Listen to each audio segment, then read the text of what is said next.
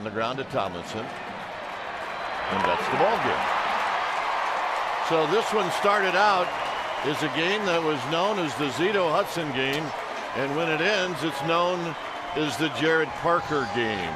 Well, it was a day that Giants fans will not soon forget. Three home runs, seven RBIs, and just a great offensive performance period for the Giants. 19 hits, 14 runs. Wow. So tomorrow's game will be the rubber match, and the winner of that game will win the series. Here, final score Giants 14, A's 10.